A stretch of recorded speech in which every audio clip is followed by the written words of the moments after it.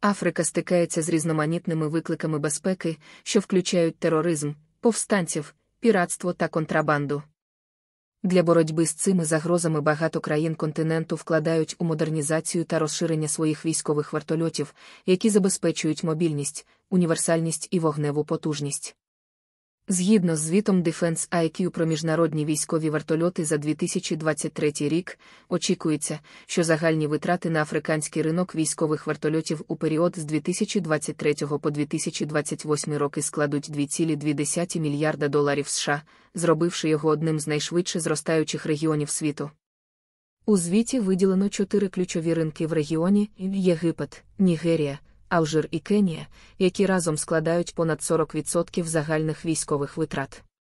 Ці країни мають різні потреби та пріоритети в закупівлях, що відображає їхні стратегічні інтереси та умови безпеки.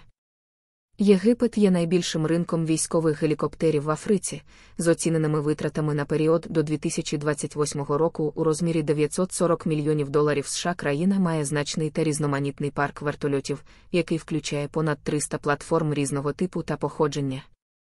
Основними проблемами безпеки Єгипту є боротьба з бойовиками та повстанцями на Синайському півострові та забезпечення безпеки кордонів з Лівією та Суданом. Нігерія є другим за розміром ринком військових гелікоптерів в Африці, з загальними витратами у розмірі 920 мільйонів доларів США на період до 2028 року.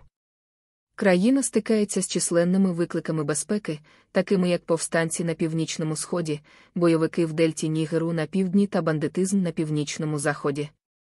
Нігерія активно розширює свій парк ударних гелікоптерів, замовляючи нові вертольоти A-1Z Viper у США та Т-129 АК у Туреччині, щоб підтримувати свої операції з протидії тероризму та повстанцям.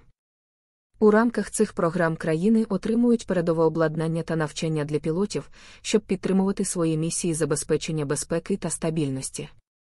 Ставте лайк, коментар, підтримуйте канал гривнею, деталі в описі до відео. Слава Україні!